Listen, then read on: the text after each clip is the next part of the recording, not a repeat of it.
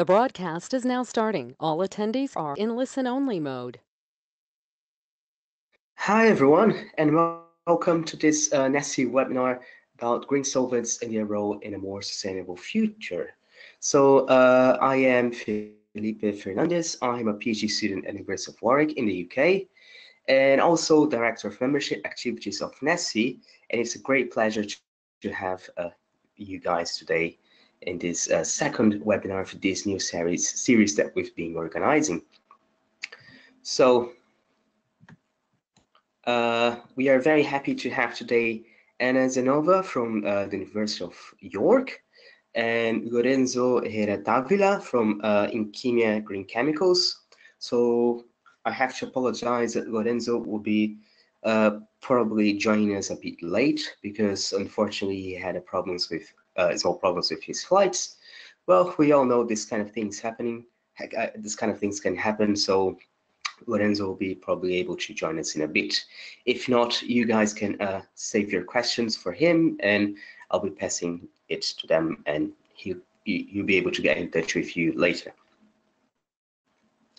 So uh, I would like to actually start by talking a bit about NESSE. Uh, I'm not sure if all of you who are attending today's webinar is actually part of our uh, network already, but NESSE is a movement of scientists, it's, it's a global movement of scientists uh, and engineers that are connected to tackle um, uh, sustainability related challenges. So we have different of different branches and we act in different ways to uh, inspire the new generation of uh, sustainability professionals. So we connect people, we build um, an international community of uh, scientists and engineers, and we also act locally by the uh, by supporting the creation of sustainable science groups. Uh, we also organize training events. Uh, they are sometimes at conferences, like we organized last year at ISGC, uh, but also these kind of activities like this one uh, in terms of webinars uh, in a way that you're not only part of a community, but you're also uh, benefiting from being a member of our uh, network. We build partnerships and also have a mentoring program in which you can get in touch with experienced and senior members, members of academia and industry that are actively making a difference in sustainability. So it's a great pleasure to be now introducing Anna. Uh, so the way that we'll be conducting this webinar is Anna will have some minutes to present a bit about herself and a bit about her research and her expertise. And hopefully we'll be we'll have uh, Lorenzo joining us in a second. And from there, you guys, we we have some questions here that will lead the conversation. But uh, the main uh, actors here are actually you guys who are attending the webinar. So please uh, send send your questions along. Uh, that after the the presentation from um, Anna, we'll be covering them uh, in, in in this meantime. So now I'll be transferring uh, the power to Anna. So Anna, uh, you guys should be now able to see Anna's uh, screen. Okay, great. Let me just load up my presentation. There we go. Thanks, Felipe, for that, and thank you for inviting me to uh, present on one of NESSE's webinars. As you know, I always love working with Nessie, and it's really great to have the opportunity to do so again. Uh, I was actually on NESSE's executive committee for uh, almost two years, I think, so that's how I know NESSE in the first place. And they're a really great group of people. So if anybody's listening who's considering uh, going out for NESSE's executive board, which the elections are coming up soon, I think, Felipe, in the summer. Uh, yes, uh, that's a very good uh, point to advertise the elections. We are ha we have four new positions in the executive board as a director, as a assistant for the, the membership board, uh, finance director as well, and director of sustainability science groups. And the election, the, the positions are open to the 6th of July. So if you guys are interested, you know, getting part of, uh, getting more actively part of NESSE and make your difference and develop new skills, you can uh, send your applications by the 6th of uh, July. Yeah, so only a couple weeks left to submit those applications, but it's a great way to get experience with working with an international group of scientists. You meet a lot of cool people. Uh, you can get experience writing grants or doing executive management uh, type activities. So there's not a lot of organizations that will let early career scientists do that. So I'd really recommend it. Um, I'll talk a little bit about myself first, because like Felipe said, Lorenzo has not joined us yet. Uh, his flight was delayed, so I'm just gonna extend my presentation a little bit and then open it up for questions. And I do encourage you to write down any questions you have. You know, it doesn't have to be about solvents. I'm happy to talk about where to get a green chemistry PhD, uh, other aspects of green chemistry, more about York or the UK where I'm currently living, or the US where I grew up. So really ask me anything within reason. Uh, so a little bit about York first. This is not New York. This is actually Old York, which is the namesake of New York. And a lot of people outside of England haven't heard of it. So I'll give you a couple of points of reference. First, there's London, which is down in the south of England, and that's where most people fly into. Another big name city in the UK is Edinburgh, which is up north in Scotland. And then finally, York is halfway in between, almost exactly. And it's a beautiful little medieval town. It's had Vikings living here at some point. It used to be a Roman city, so there's a lot of history and a lot of ruins here. Uh, and I would really recommend coming to visit if you're ever in the UK or nearby.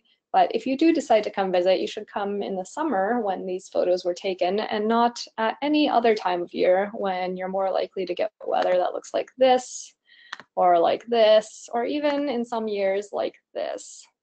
So really recommend coming sometime between May and September if you want to get the good weather in York.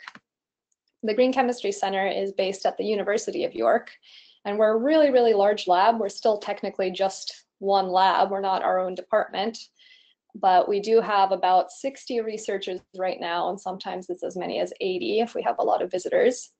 So it gets a little bit busy, but luckily we have the entire top floor of this building to ourselves, and the bottom floor is teaching labs. So we're basically segregated from the rest of the department, which is, you know, can be good and bad, but it's really nice to have these state of the art labs because the building was only built in 2014, so four years ago. And we also have an industrial engagement facility where we host events and invite companies to come and talk to us about their needs in chemistry. And we frequently provide them with green chemistry solutions in partnerships or collaborations or just short-term projects. So I think that's actually a really interesting part of doing a green chemistry PhD at York is you get to be involved directly with industry and see what their concerns are and learn a lot that you might not learn at a purely academic department. So that's a big strength of ours. Let's get to the topic of the webinar. Let's talk about solvents. So first of all, we need to define what exactly is a solvent. So one of my British colleagues here always calls it the liquid bit, which is fairly accurate. It is usually liquid, uh, not always at room temperature, but liquid when you're running a reaction in it the solvent is responsible for bringing the reagents in contact with each other. So frequently you have reagents where they're both solid at the reaction temperature, and you might have difficulty getting them to react without something to facilitate that. So that's the main role of the solvent, is to dissolve both solid bits and bring them in contact with each other. Another critical role of solvents is heat transfer. So if you have an exothermic reaction, you actually risk having a runaway reaction reaction or overheating, breaking your vessel, etc. Or in extreme cases, explosions or fires, if you don't transfer the heat away from the reaction in a timely manner. So that's what solvents do, is they take the heat away and they dissipate it. Or in some cases, if you have an endothermic reaction, your solvent actually transfers the heat from the hot plate to your reagents and helps them react. So either way, it facilitates the reaction happening quickly and safely. Uh, the last definition of a solvent, which I think bears thinking about, not many people think about this, but it's not involved in the reaction itself. It can help facilitate it, but it doesn't get incorporated into the final product because if it does, then that's just a liquid reagent. So those are sort of the three things that define a solvent. And when you start to get into solvent science, there's more and more complicated bits that come up, but those are the three main ones. So I have some examples here of solvents that are some very common, some less common, but up and coming, especially in green chemistry. You've probably heard of acetone if you're a chemist. You've definitely heard of water, no matter who you are. And NMP is a uh, common example of a dipolar aprotic solvent, which is used for a lot of specific types of chemistry. Then we start to get into the more esoteric ones. So we have BMIM-PF6, which is an example of an ionic liquid. And those are, well, they have liquid in the name, but the common definition of ionic liquid is that it's liquid at some point below 100 degrees Celsius. So you may have to heat it up to access the liquid part of the name. Then we have deep eutectic solvents. The canonical example is choline chloride and urea. And these are actually two solid components and you mix them together and stir them without adding any heat and they immediately form a liquid and they stay liquid. So those are really interesting. They're uh, usually a bit greener than ionic liquids. And then finally, carbon dioxide is one of my personal favorite solvents, and you're probably used to thinking of CO2 as a gas. But if you pressurize it and keep it at the correct temperature, you can actually get CO2 to act as a supercritical fluid, which means that it acts as a solvent, but if you vary the pressure or the temperature, it has different solvent properties, and that's very easy to tweak. So it's becoming more and more common to use CO2 in decaffeinating tea or coffee, where we used to use dichloromethane, which is a really nasty solvent that you don't want to be, uh, you don't want any of that left in your coffee afterwards, uh, or ethyl acetate, which is natural but still not as easy to use. But carbon dioxide, when you decaffeinate tea or coffee, you uh, pressurize the CO2 in with the tea and then move the CO2 to a different tank immediately afterwards, and it takes the caffeine with it, leaves all the flavor bits behind, and then you can just release the pressure and the CO2 turns into a gas and all of it is gone. So you have completely untainted food products. So I think that's really cool, but I'm happy to talk more about that later. So if solvents are so great and we have so many of them, why do we need more options? Why do we need green solvents? Well, a lot of the solvents that you just saw actually have a, a lot of hazards associated with them. So the diamond shapes that you see here are GHS symbols, and that stands for Globally Harmonized System for Classifying Hazards. So uh, let's see if I can use the mouse here. No, it doesn't look like you can actually see my mouse. Um, actually, but actually we, we can see it. Oh, you can see it. Okay, it's just not showing on my tiny screen. So this toxic skull is very obvious, classic symbol for you will die if you come in contact with this fairly quickly. Uh, this one is a little lesser known, but it's equally important. It's chronic toxicity. So in some cases, you will die slowly if you keep coming in contact with this, but in other cases, uh, you can have reprotoxicity, which means your children will have problems, mutagenicity, which means it affects your DNA, or carcinogen carcinogenicity, which means that you may get cancer if you come in contact with this chemical or this solvent. So none of those are great, especially because most of the time the effects are not immediately obvious, so you don't know to stop touching that thing. So that's actually a really scary one, more so than the skull and crossbones, I think. Uh, aquatic toxicity is very obvious. When you put this chemical into the water, things die. So we have here a dead tree and a dead fish to, um, to show that. We have oxidizing solvents, which are nasty and accelerate fires. We have the flammable ones, which are very easy to light on fire and dangerous because of that. And then we have the little exclamation point. And that one we're not so worried about in green chemistry. It usually means things like it's an irritant or it's a sensitizer. Uh, you probably just shouldn't touch it that much, but it's not going to kill you and it's not going to kill anything else. So that one, it's sort of okay. So in Europe and increasingly around the world, we have chemical legislation that is starting to affect the solvents that we are allowed to use. So REACH is the European chemical legislation, and it's quite thorough. It's just come into full effect this year and is really pushing industry to adopt safer chemistry and safer solvents. All of the molecules shown here are solvents that are basically coming under regulatory fire with REACH. Some of them have been restricted, others are on the SVHC list, the substances of very high concern, which means that their use is going to be restricted soon. And if you want to keep using them, you're going to have to pay a heavy fine and also fill out paperwork justifying why exactly you need to use them. So all of this can be difficult to deal with, but it does present an opportunity for greener solvents to come in and take the place of these hazardous ones. For example, one of the classes of solvents that is currently in trouble with REACH is the dipolar aprotics. And these are solvents that are shown here, such as DCM, NMP, DMF, and their hazard symbols are shown as well. So you can see a lot of them have chronic toxicity issues like reprotoxicity, mutagenicity, and DMF in particular is also flammable on top of that. So DCM and NMP are currently restricted under REACH, and industry is very rapidly moving to alternative solvents for those. Uh, and DMF is on the SVHC list, so it will soon be restricted. But there's not actually a lot of safer options for dipolar aprotics because it turns out that the things that make them functional, their halogen groups or their nitrogen groups or their sulfur groups, are also the things that tend to make them toxic. So it's very hard to find a substitute that has the same solvent properties but doesn't have the toxicity. And that's one of the challenges that we work on at York. So if you'll pardon my extremely obvious pun, what is the solvent solution for this problem of hazardous solvents? The answer is green solvents, but a lot of people toss around that word green and they use it to mean different things, uh, starting from the color green and going all the way to extremely deep environmental philosophical things. So let's talk about what we mean when we say green solvents. At York, we usually say that green solvents are safe for humans and for the environment.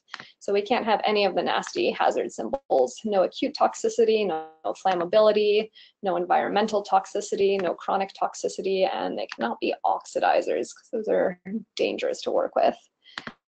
So they also have to be bio-derived, uh, and this is something that people will quibble over. Some people say that as long as a solvent is safe, it can still be petro-derived and be green. But at York, we're fully supporting the transition to a bio-based economy, and we think as long as a solvent is derived from petroleum, it's not going to be sustainable in the long term. So bio-derived is definitely one of our must-haves. And finally, and this is the most interesting one, it has to meet industrial needs. And that's not something that has historically been included in the definition of sustainability or greenness.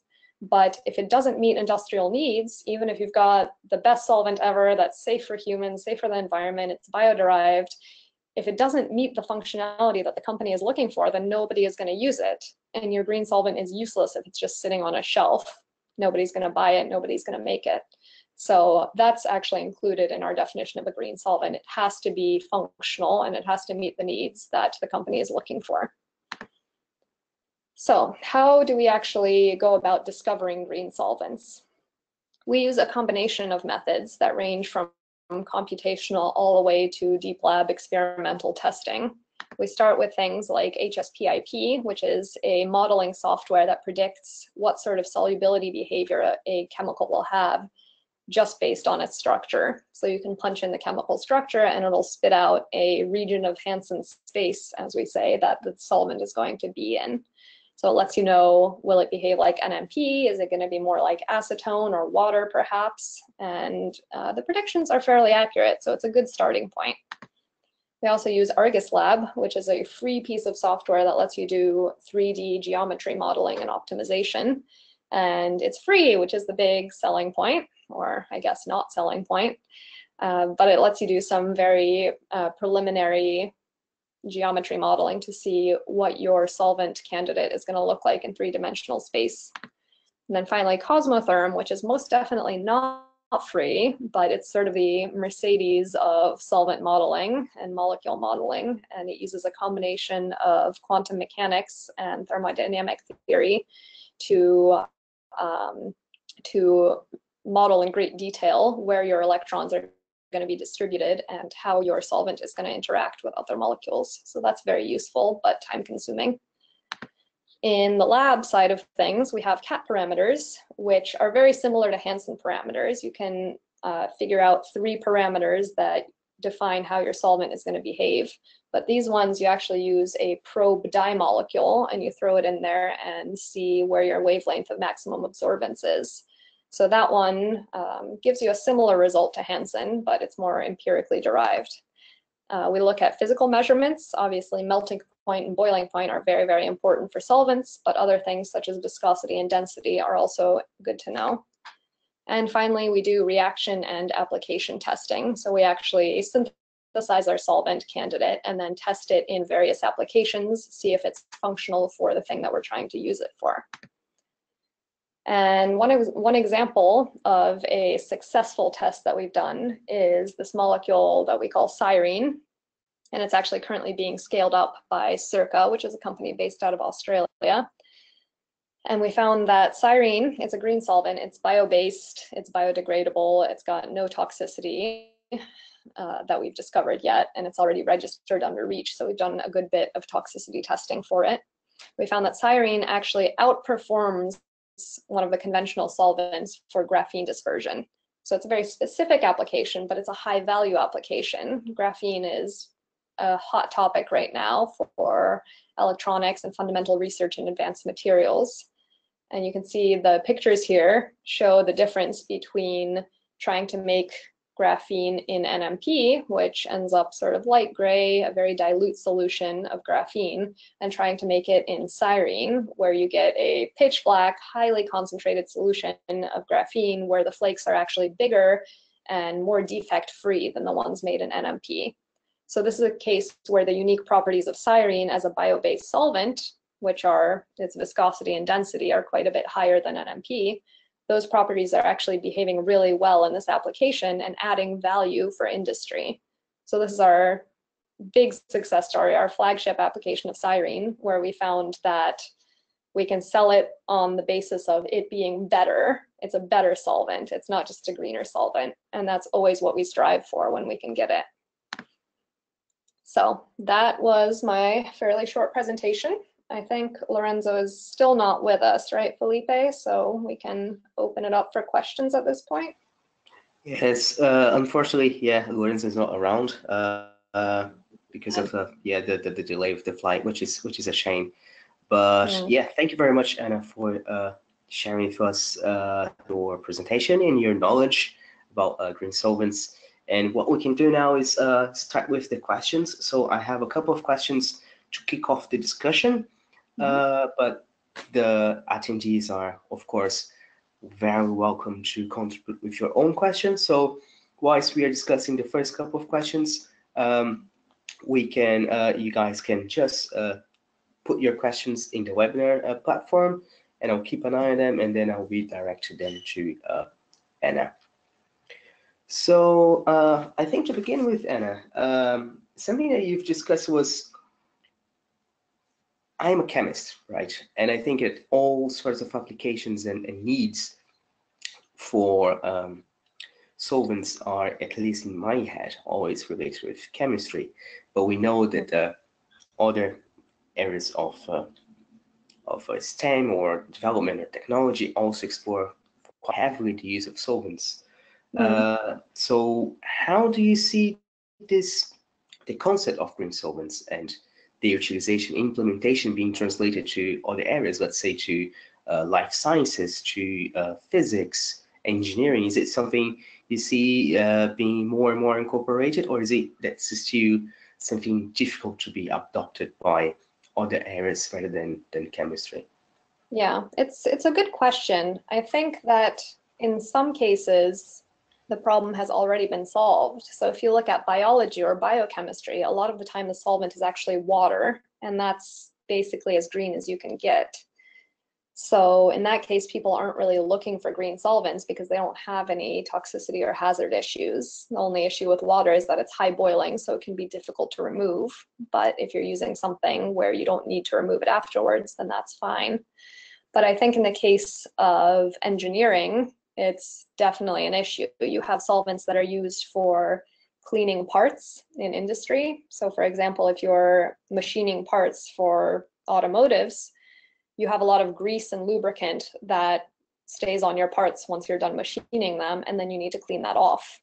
And actually one of the most popular solvents to do that is NMP, which as we've just seen is highly hazardous and has just been restricted under REACH. So in that case, we are actually looking for greener solvents for engineering applications.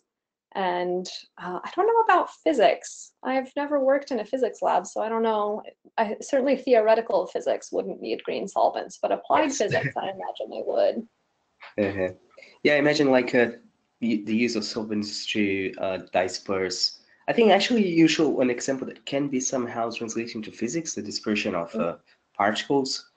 Oh, uh, yeah, yeah. If you're looking at advanced materials as applied yes. physics, then yeah, absolutely. Graphene dispersion is critical to graphene mm-hmm. research. So if you have other applications like that, uh, if you're looking at polymer physics, solvents are deeply involved in polymer processing and polymer polymerization.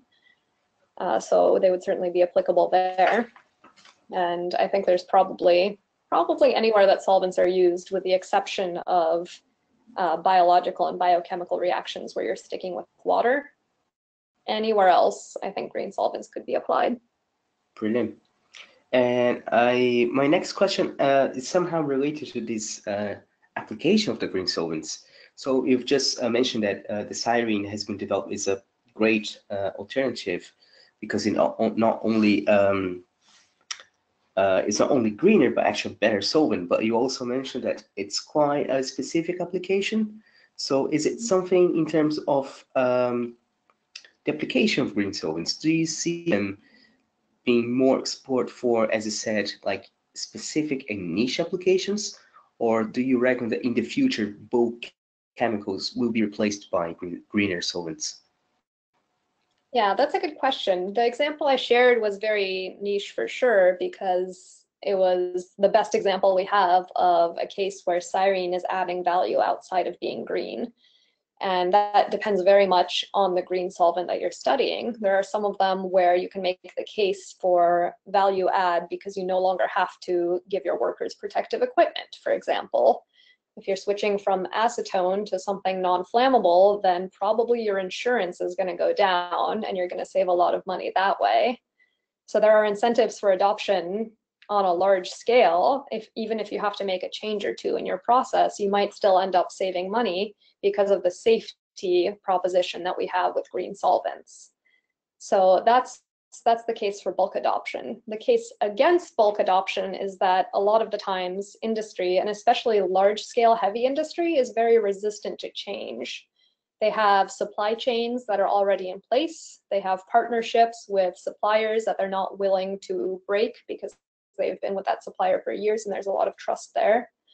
Um, there are cases where, for example, Cyrene, it's a great solvent. It has a lot of applications. It's been tested and proven in many applications, but there's still only one company manufacturing it. And there are some large companies that will not touch Cyrene because there's only one supplier and they have a policy where they cannot buy a chemical if there's only a single supplier. So it's barriers like that that we face in getting green solvents adopted on a large scale. But I think I think the future is green. I think we are going to move towards more and more adoption of green solvents. And a lot of that is legislation driven. So we've seen uh, within the last two months in the EU, REACH has come into full effect. The deadline was, I think, May of 2018. So it just came into full effect. And NMP was also just restricted. It just moved from the SVHC list to the restricted list within the last few weeks. And we've already seen a barrage of questions from companies who are approaching us and asking, how can I transition away from NMP? What do you have for me? So even in cases where it's not a niche application, you know, there's cases uh, like graffiti cleaning is something that we're looking at, polymer dissolution, large scale applications where the specific properties of the solvent are not that important as long as it meets the basic need. Those applications we're seeing increased uptake of green chemistry and of green solvents. So I'm optimistic in short, um, but you know, it's a it's a slow process. Petroleum has many many years of experience on us, and it's kind of hard to overcome that, especially when the costs of petro-based chemicals are so low, especially where they're subsidized by the government. So there there are barriers to be overcome, but I think we can do it. Brilliant. Oh, thanks. Thanks for your your uh, insights. Uh, I do have a question about regulations, but first let's jump to a question from our audience. Uh, so we, we have a, a Maria Alexandra uh, interaction with us. So she's saying, hello, uh, very interesting topic. However, I'd like to know if someone, some of the properties of the green source are not totally known and how would be the best way to certify something as safe. And of course, talking about solvents that might be useful in example like uh, cosmetics and food industry. And of course uh, afterwards in terms of upscale uh, upscale the lab uh, methods for to industry applications. And yeah that's that's uh, the question. Yeah there's a lot of a lot to cover there. So um, let me start with properties I think uh, as, as a green solvent comes onto the market, more and more of its properties become known because more and more research is done around it. So my, my PhD project is in applications of Cyrene. So I'm going to continue to use that as an example because it's what I know best. It's not the only green solvent out there. There's plenty of others, but it's what I know. So I'm going to continue to talk about it.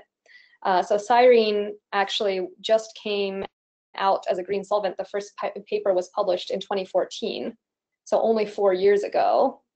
And because it had such promise and because there was a company that was willing to scale it up and make its production, uh, make it more available through large scale production, there was immediate uptake and excitement in the ac academic community. So we have papers being published from various labs uh, talking about Cyrene's application in Suzuki Miyaura cross coupling, its application in Sonogashira coupling, its application in synthesis of metal organic frameworks. Uh, we recently published a paper here at York talking about derivatizing Cyrene and creating a whole new class of solvents that are based on Cyrene, but are a little bit more stable to acids and bases. And every one of those papers introduced a new consideration for its use as a solvent. So we now know aside from the basic properties of melting, boiling, density, and viscosity, we now know a lot more about how stable is it to the bases that are necessary for certain reactions, how stable is it to acids, uh, how easily does it separate from certain other solvents that people are interested in using, and every new publication brings new data with it. So it's actually if you can get people excited about it, it's actually a fairly quick process to gather more and more data about Cyrene. Uh, in the project that I'm working on right now, we're going to be start looking at electrochemical properties. So we're going to look at the dielectric permittivity of Cyrene, which is not yet known and is a more of an obscure property. So we're only four years down the line, we're already looking at the weird properties that not many people are interested in because we've had companies approach us wanting to do projects about them.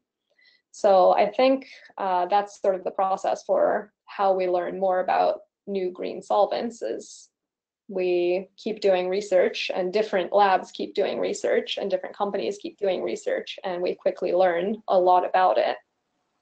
So I think that's the great thing about working in green solvents is you you get to see your field sort of expand very rapidly if you've got a solvent that people get excited about. Um, sorry, Felipe, what were some of the other questions? Oh, yes, sure. so I think the second part of the question was about uh, how to make sure that these uh, new solvents are uh, safe? How's the best way to certify they're safe?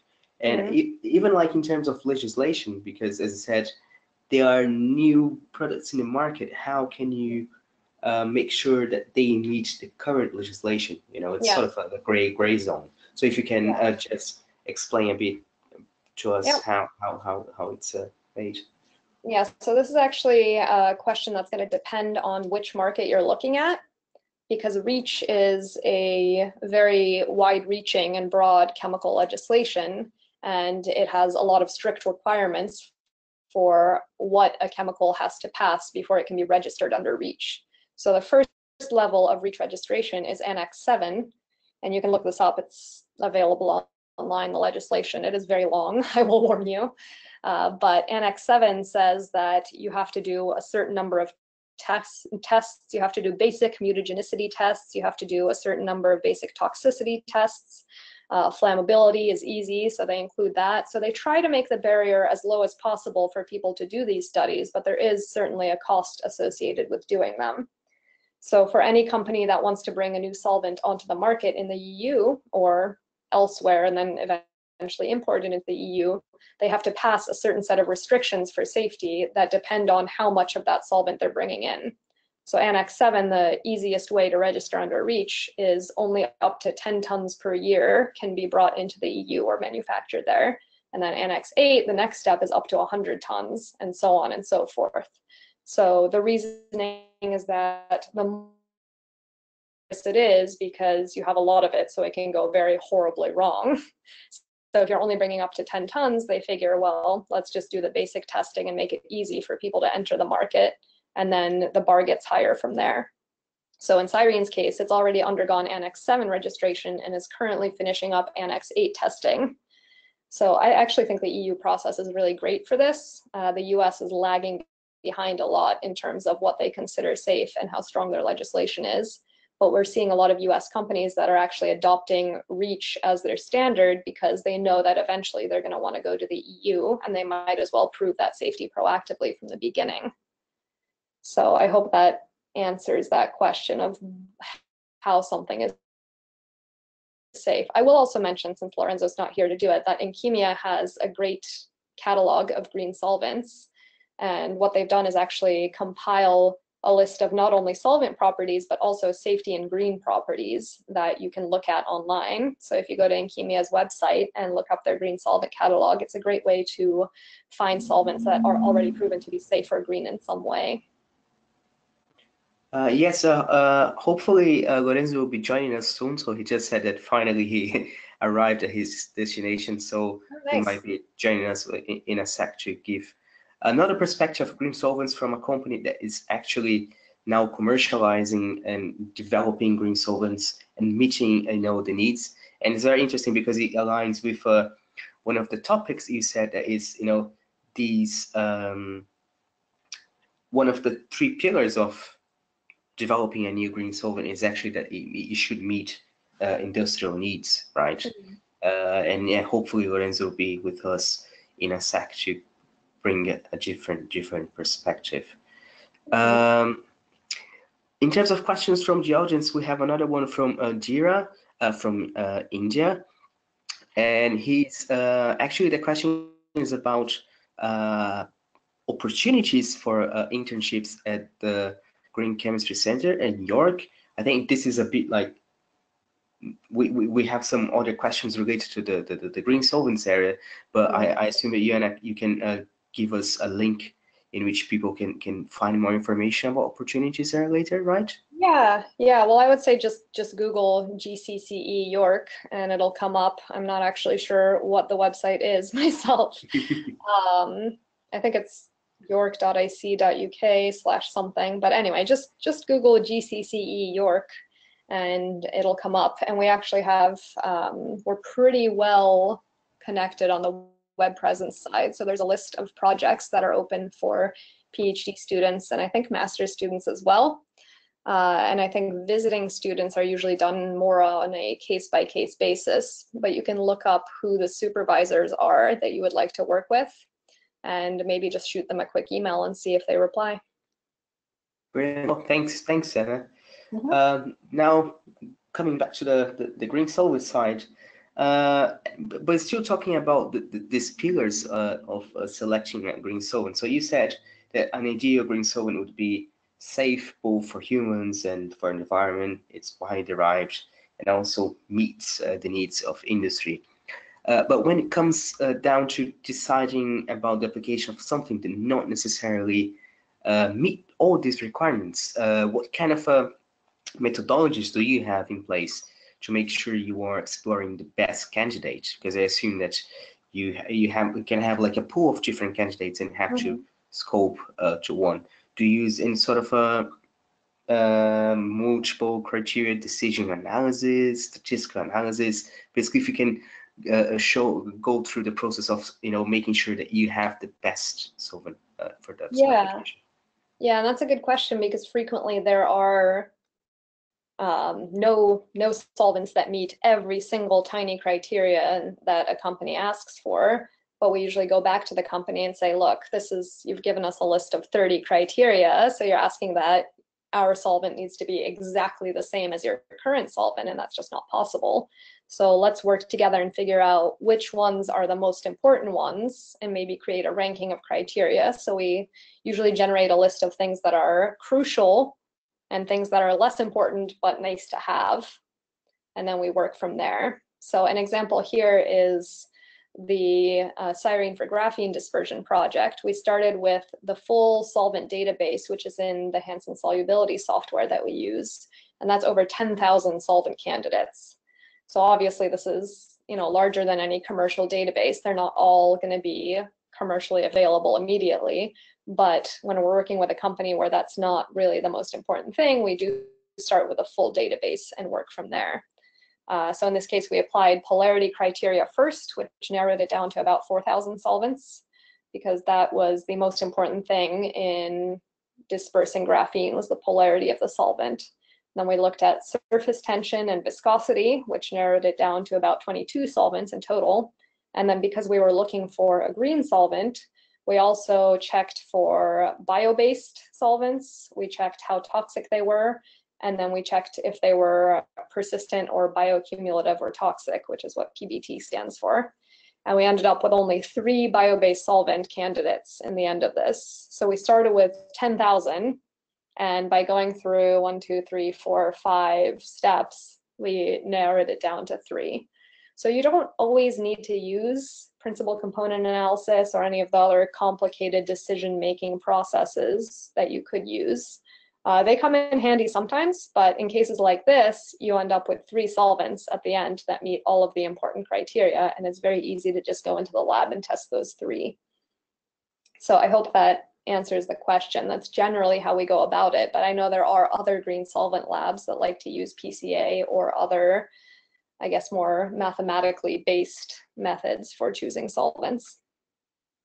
No, brilliant. Yeah, it definitely uh, demonstrates that actually it's uh, the sort of the, the, the nature of how you approach the, the particular properties, it will narrow down the scope by itself, right? You, you end up having quite few uh, solvents that will meet the criteria, and from there you, you can you can choose what kind of approach you want, which is very interesting to understand how, from a research perspective and also industrially uh, perspective, how how you can select the best candidate.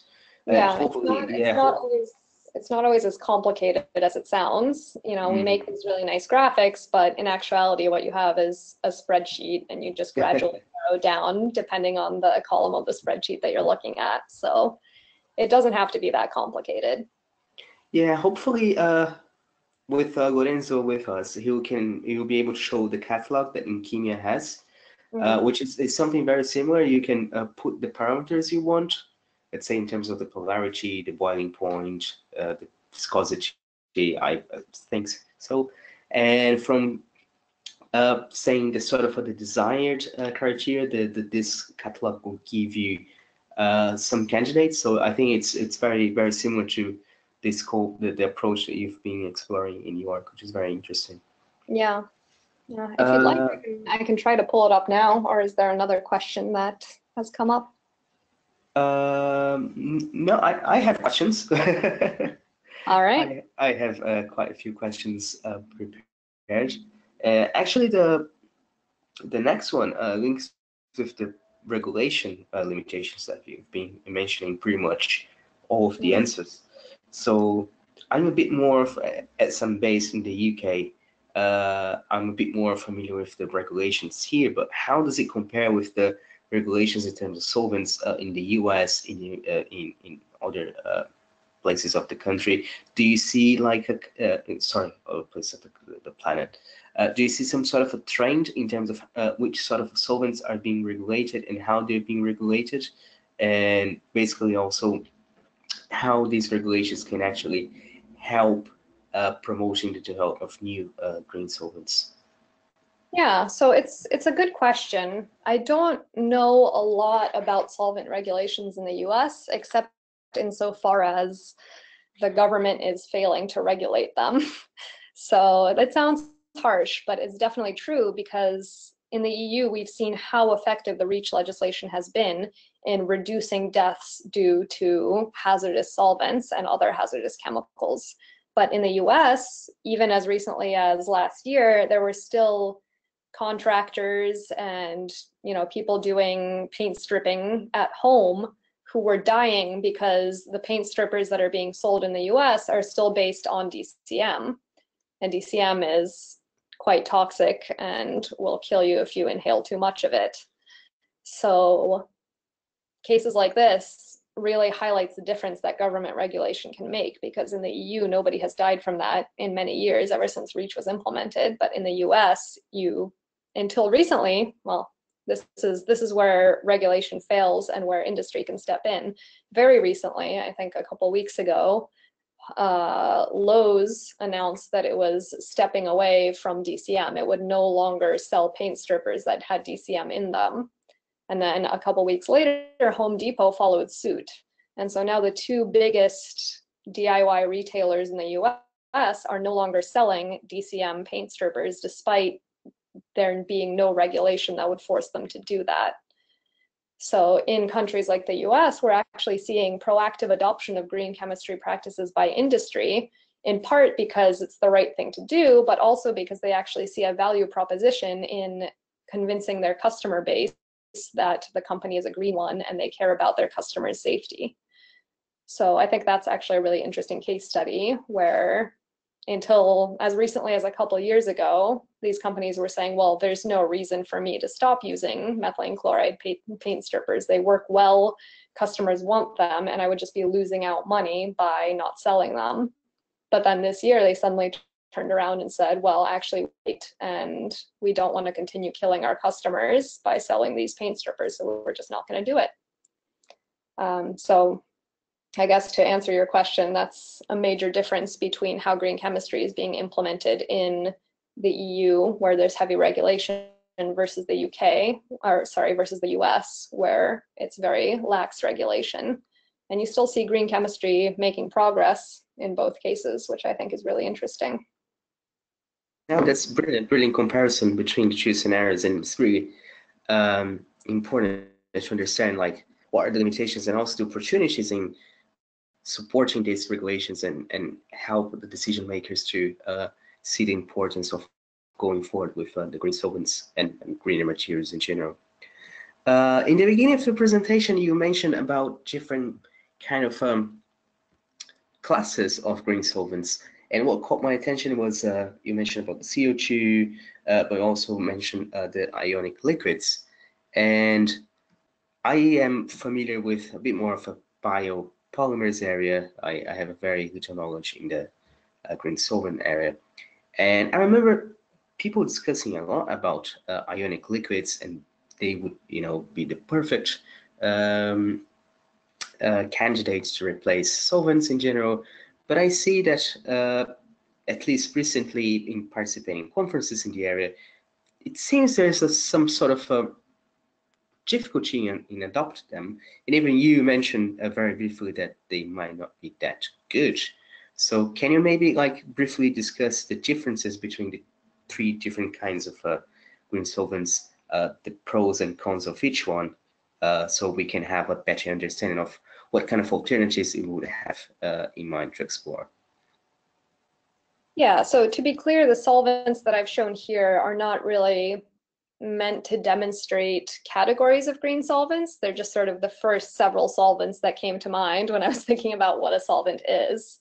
So it's not it's not a conclusive listing of types of green solvents, um, but certainly ionic liquids have been touted in the past as green solvents, and deep eutectics are in that area as well. And carbon dioxide is actually one of the solvents that we work with here at the Green Chemistry Center.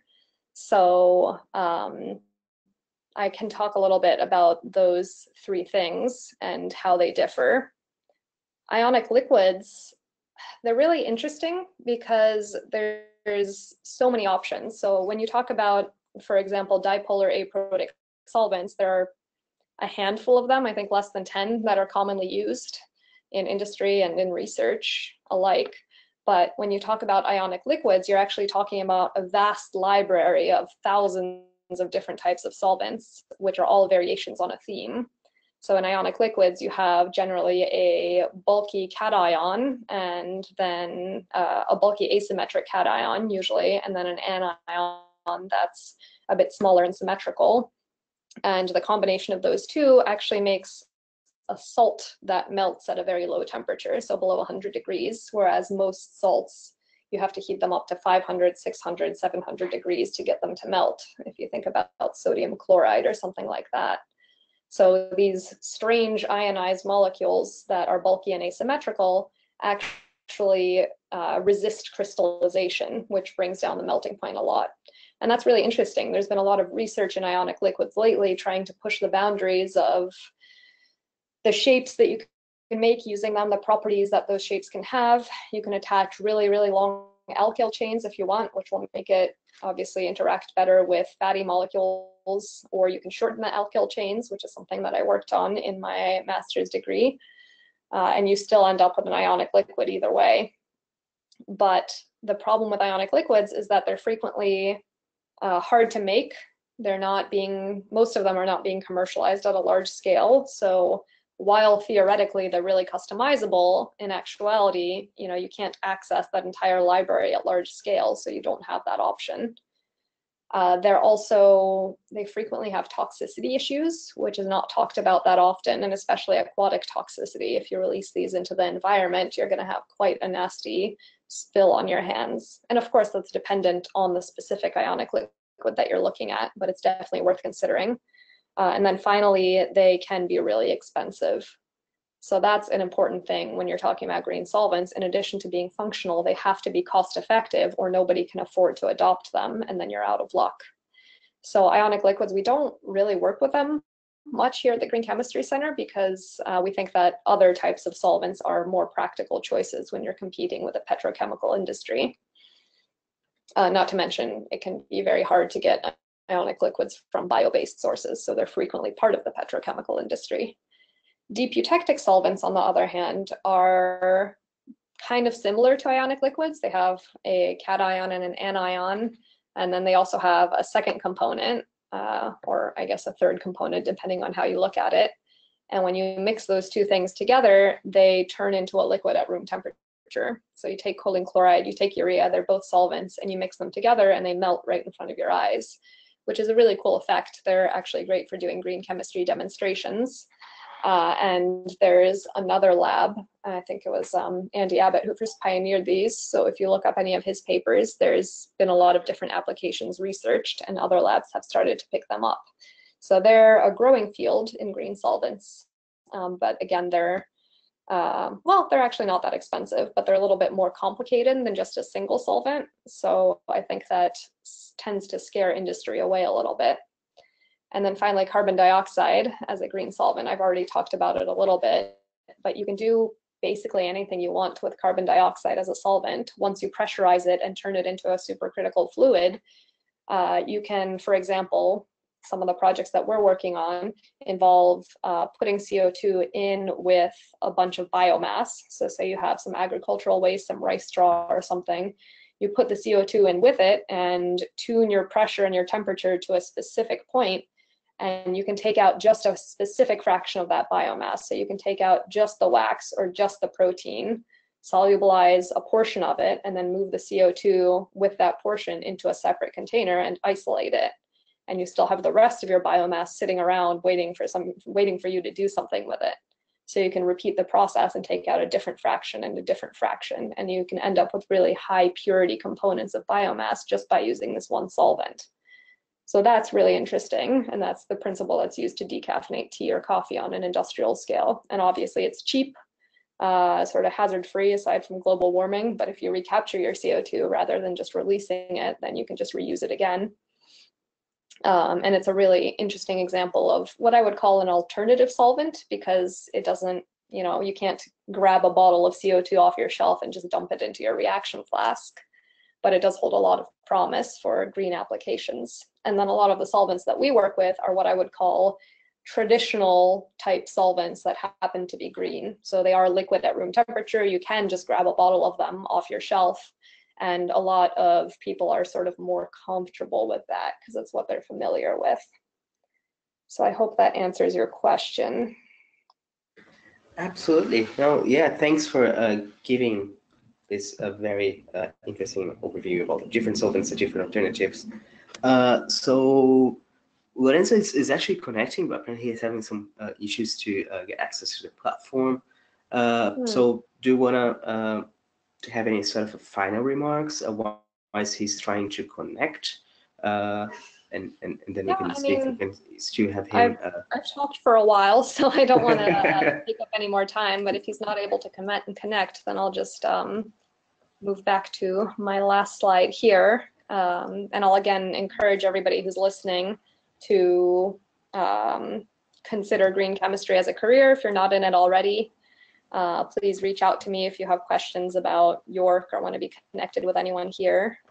Um, and yeah, I don't know. I, have had a very good experience here, so I always try to promote it to everyone. And I've learned a lot about solvents. If you can believe it, I didn't know anything about solvents until two years ago when I started my PhD.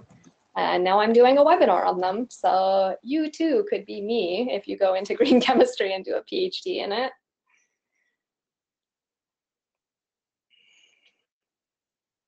Oh, sorry, I was just trying to get, see if we can still get uh, Lorenzo on board it seems like because of the time and he's still having some problems with the platform, uh, what we might do as a best alternative with uh, perhaps trying to record with him at some uh, um, uh, so actually seems I'm just trying to understand if he's around.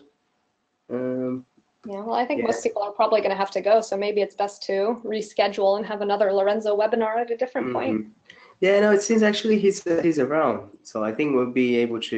Uh, yes, uh, there he is. Uh,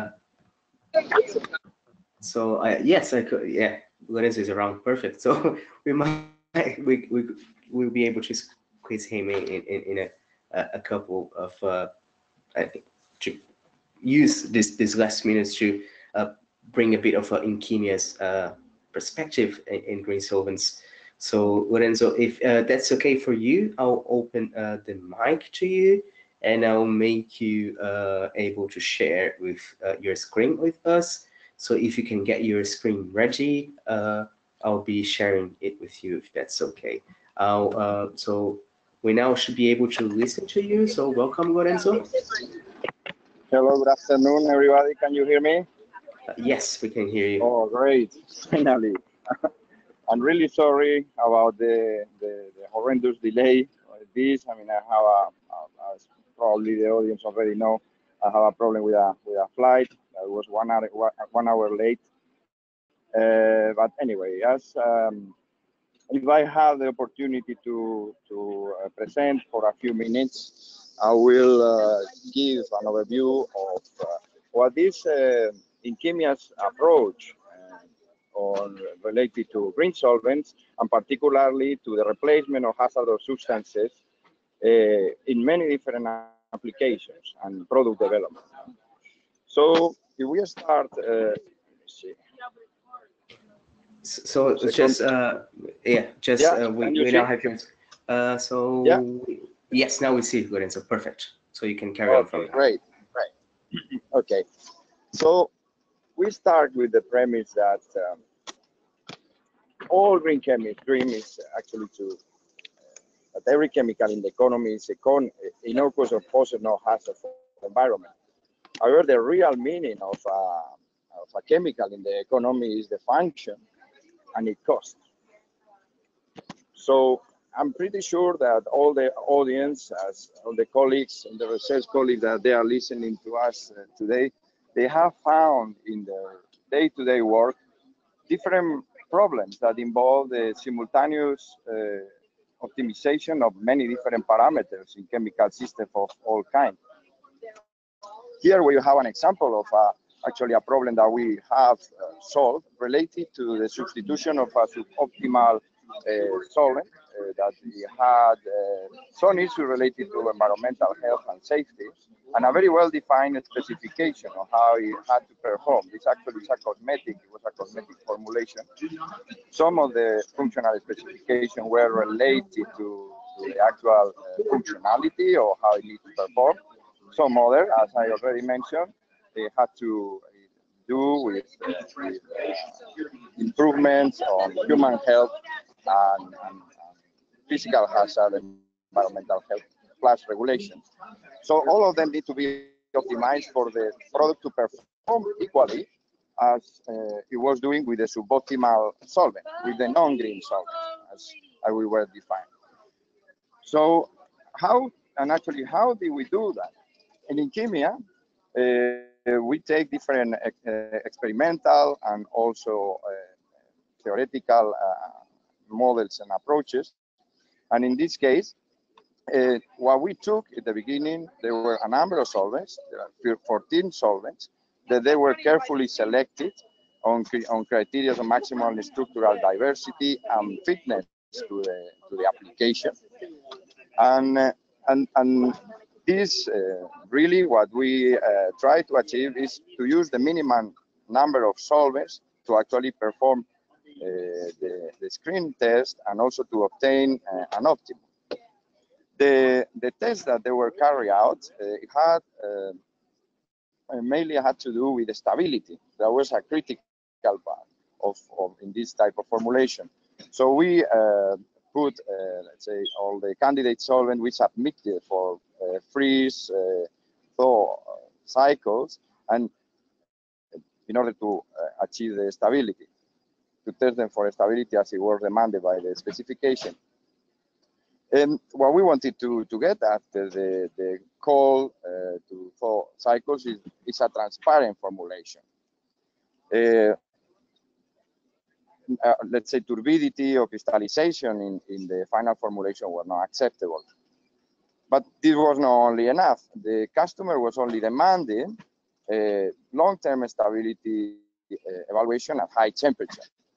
And after this test, we should not uh, have any hydrolysis, phase separation, or yellowing, as it was indicated in the in the specification.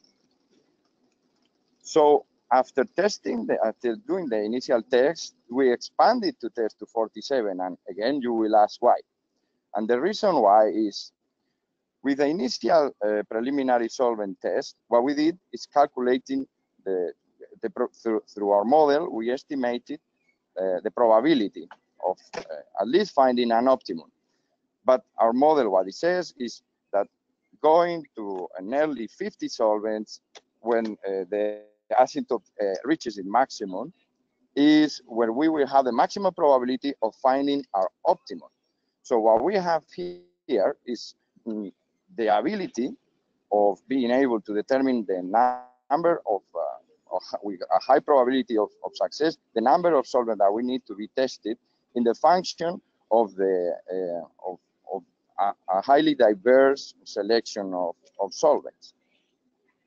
Also, in in this case, we test we ascertain that just using one parameter or just focusing on one physical uh, or physical chemical property as it could be just solubility looking at Hansen parameters it, it wasn't uh, sufficient and it didn't it could uh, lead to misleading results in this uh, complex system we can see here we have a target the target suboptimal solvent with a set of uh, solubility parameters that uh, resemble some of the non-optimal uh, both the non-optimal and the suboptimal solvents.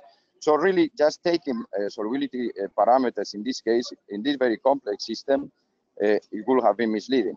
what we really achieve is the simultaneous optimization of the 10 of the 10 uh, parameters that they were prescribed in the in the specification.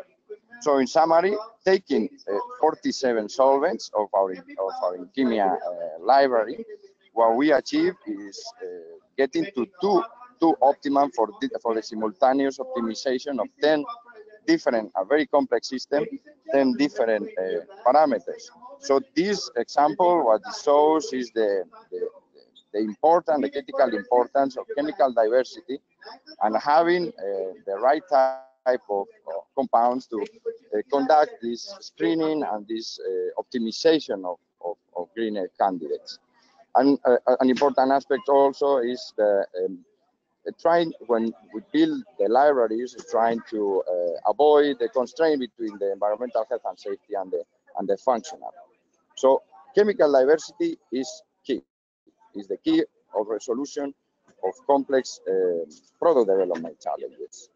Why is this so important?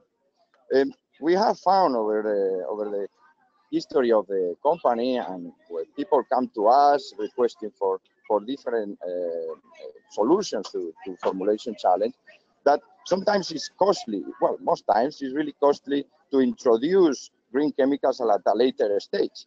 But if this is done in early phases of r&d uh, this is translating uh, effective uh, resolution of very complex problems. In this case i mean some example we had some people have found bottlenecks on scaling up uh, the production of novel materials and they were using DCM in the early stages, similar cases on different type of textile technologies with DMF and many others, you know, where they might use uh, uh, uh, very uh, toxic solvents, some of them already mentioned by, by, by Anna earlier on, in agricultural products. So the conclusion for us is that uh, really what it drove us is to build our library over this 20 uh, year experience on the on the uh, on the company and in our library we have more than uh, 300 solvents meeting the the requirements given by GHS and the column model guideline for substitution. But ultimately, our mission, and particularly with our solvent catalog, is uh, to let and offer the R&D community this chemical diversity for them to, or for you, effectively to, to test and, and try in different applications what uh, we have been able to, to succeed over, over the, the company of, uh, over the history of the company. So ultimately you can uh, introduce this in your, your, in your work and uh, being able to improve and optimize your, uh, your, your products and your processes. Um, this will be what is basically a, a summary of the way that we approach the solvent uh, replacement challenge. And just give just briefly uh, an overview of, of InKemia. It's already mentioned, we are a 20-year uh, history uh, company. We, have, uh, we are over 100 uh, scientists working in 10 facilities, mainly in Spain, but also we have facilities in, um, in, in, Colombia, we have in, in Brazil, and, and here in Houston.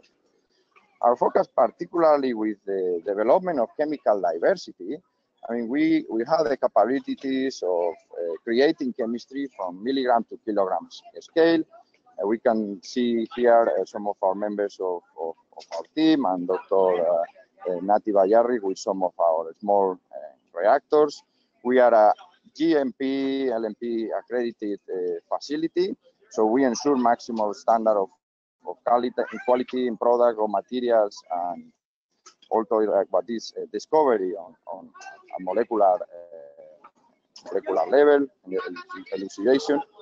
And we we only don't uh, focus on solvents. I mean we have a strong drug discovery team that is here led by uh, marta pascual and uh, that has led uh, this experience also access to different uh, plant pilot plant facilities and led into pro, commercial production and, and eventually uh, into commercial distribution. That is uh, the activity that we mainly develop here in, uh, in Houston.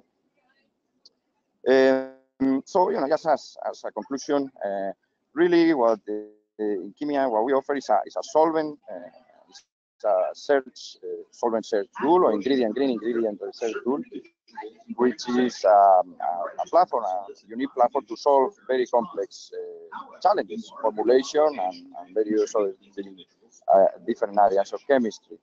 And, and our catalog is there available for, uh, for researchers to use and to support their uh, implementation or, of, of, the replacement of hazardous substances in a wide array of products.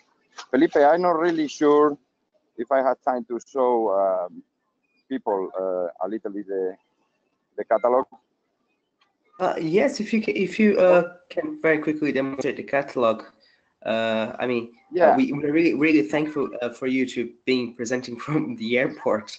Uh, this shows your, yes. your, your your commitment to uh, giving the message, and even after all this stress of all, all this long delay with your flights, being able to come here and discuss with us, uh, show, share with us a bit of your expertise yeah. about resolvents. So yeah, if, if you wanna, Thank in, you for in, in five, yeah, you're welcome. If you want yeah. in five ten minutes, in fact, quickly. I'm picking up my suitcase now. no, uh, yes. Uh, so no, jokes, jokes aside, uh, yeah, I will briefly show the audience uh, how the catalog works. Uh, as I said, our cat, I'm just loading the, the link. I hope it works. Can you see it? Can you see something happening? Uh, no, it's still uh, on your. Oh, yeah, now, now, now we see it. Now we see it. Yeah. Ah, great. Very good. So what we have here as I say, is a is a subset. Uh, Is a subset of. Uh, I'll get one second, please. Maybe easier.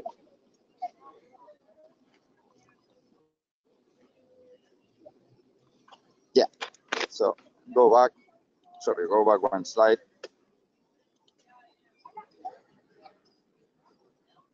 Okay. Okay, here we go. So as, as I mentioned, what we have here is a subset of our, our, our green solvents chemical library. We have made uh, available these to researchers for people to, to investigate, for people to use, to choose on function of their expertise.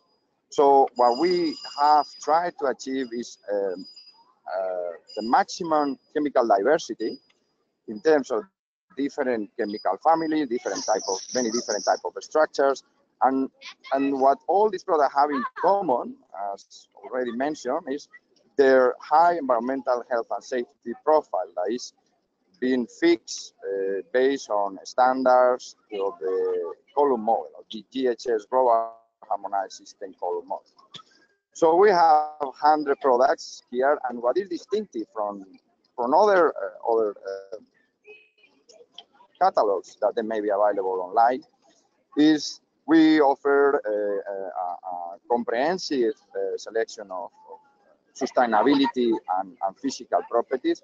And not only that, we can filter the different products based on this sustainability and, and physical properties. We will try to incorporate this here our methodology, the way we develop our methodology based on on uh, multi-parameter optimization. And this, you know, let's say, let's just put a very simple example. Let's assume that somebody is looking for at least uh, bio-based content in a product that is uh, miscible, uh, miscible in water, and you know they, they, they might be uh, initially looking you know at certain type of uh, or range of, uh, of, of, solubility or looking at uh, hash parameters for instance. So you know, uh, maybe, maybe a medium medium type uh, so a number of candidates come here. Obviously the this what this intent is to help uh, the, the researcher in, in, in, having candidates for the, uh, improving the, the, the, research in terms of uh, health and safety, particularly, but functionality. You know, that is what we try to do with these 100 products. You can input any variables you like here. Uh, obviously, it will be up to the researcher to uh, to look what might be interested or, or no, or what would like to try and um, we compile a wide range of uh, novel uh, novel products. Some of them they may be interesting because of the, source, because the end of life, uh, different type of uh, of, of, attributes. Uh, but again, ultimately, what is interesting here, what we the way that we have designed is try to achieve the maximum functionality for for researchers to to use. And and that will be briefly about about about the catalog. This is our team led by uh, Dr. Uh, Carlos Estevez in Barcelona, and then the team here in the, the US with Professor Anastas uh, as chief uh, scientific advisor. And well, this is our contact. If you, if anybody, or if you have any time for, for any question, or, or if you know anybody, anybody want to follow up by email, I'm more happy to, more than happy to, to. Thank you very much, uh, Lorenzo, for being able to conduct this uh, overview about InKemia and about uh, what you guys have been uh, developing in terms of uh, delivering new solvents to the market. And again, I'd like to thank you very much for being able, uh, you know, apart from all the adversities being around and sharing with us your, your knowledge on green chemicals. So I'll just change to myself back. So I'm uh, my I'm the presenter again. So I'll just uh, let you guys. Uh, so I'm Anna and Lorenzo. I'm now able to hear you all again. Uh, I'm like to thank you very much for being able to join us today and sharing with us with us your yeah all your experience you have in developing green solvents either in industry in academia be able to develop your or devote a bit of your time to be here uh, for our members uh, if you guys want to get in touch with Anna and Lorenzo, please feel free to uh, drop an email to me at membership at uh, sustainablescientist.org. And I'm very happy to uh, put you in contact with Lorenzo and uh, Anna. Uh, this webinar was recorded, so uh, you'll be able to hear and to watch it again later on. So the webinar will be uploaded at NESSE's webpage, sorry, at our YouTube channel. Uh, and well, that's uh, everything. So Anna, thank you very much uh, for for being with us today. Lorenzo, thank you very much again. Thank you. Thank Great, you. Thank you so um, much for having us. No, it was it was amazing. I mean, as I said, I, I'm I'm I'm I have an experience in the material side, on, on the bio-based material side, not much with the green solvents. So it's been a great lecture for me, and I've learned a lot about green solvents. I hope our members uh, and, and those who have joined us today or will be watching this webinar uh, later on can also learn uh, quite a few things about how to improve uh, the quality of their uh, methodologies, of their systems by uh, adopting green solvents. And indeed, as Anna extensively discussed, solvents are here to make a difference. They are a big part of a, a more sustainable future, not only in chemistry, but in different areas and regulations in our side to uh, push for create a driving force towards the adoption of uh, green solvents. So uh, again, thanks guys. Attendees, there will be a survey that will be sent to you uh, very uh, soon, so you guys can have your voice heard and give us uh, ideas of what you want to hear for our next webinars that's all for today. So uh, in, name of NESSE, I'd like to thank you again for uh, spending this bit more than an hour with us uh, talking about sustainability and green solvents. And that's it for today. So thank you very much. Thank you. Thank you very much, Felipe. Thank you, Anna. Thanks, Lorenzo. Bye. Bye-bye. Okay, bye-bye.